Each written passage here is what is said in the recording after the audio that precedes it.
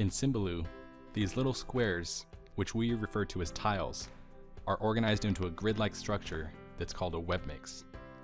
These tiles can be customized in a number of different ways.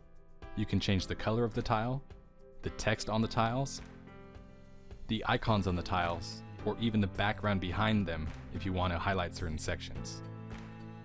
These tiles can be used in a number of different ways and can be linked to anything online with a URL.